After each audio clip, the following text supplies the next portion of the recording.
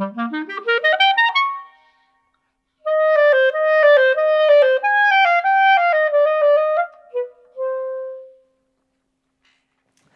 so here I've got two of Buffet's most popular professional models. I've got the Buffet R13 and the Buffet RC.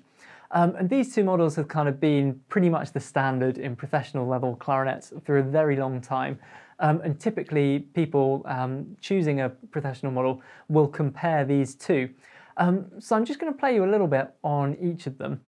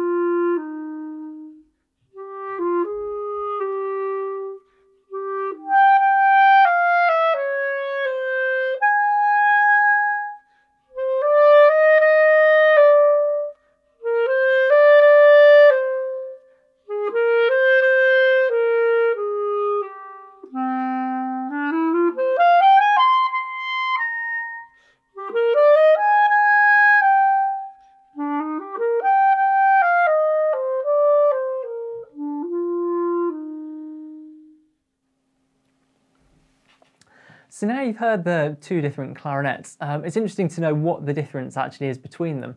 Often people are sent by their clarinet teachers to go and try out professional level models um, and they'll almost always have these two suggested. Um, but people often don't really know what the difference between them is other than the name. Um, and actually they're fundamentally a different bore shape within them, so the internal dimensions are different. Um, it's all very well kind of discussing what those differences are, but actually it's more interesting to know how that affects the sound.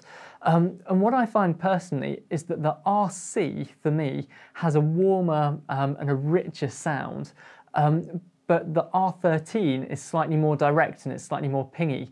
Um, so I find the R13 kind of has that better response to it. Um, which one works for you is really down to personal preference, um, and it's also going to make a difference depending on what mouthpiece you're using. Um, so here I'm using a Vandoren BD5, which is quite a, a common choice um, for these instruments. I should mention that neither clarinet comes with a mouthpiece because most people, by the time they're getting professional level instruments, will want to choose their own. Um, there's also these instruments used to be the same price. There's now a subtle difference in price. The RC is a tiny bit more expensive, um, and that's largely just down to the fact that it's had a more recent redesign and upgrade. Um, so whereas the R13 um, comes with the standard pads, um, the RC has now been upgraded to leather pads, and the RC also comes with two barrels, so you get the 65 um, millimeter and the 66 millimeter when you're with the RC. Um, they do both, however, come with a very nice buffet case. Um, so when you're choosing, really it's just a case of trying them out, see which you prefer. Um, for me, I really like the directness and the clarity of the R13, um, but also the RC has that distinctive kind of warmth of sound, so you can choose whichever one works best for you.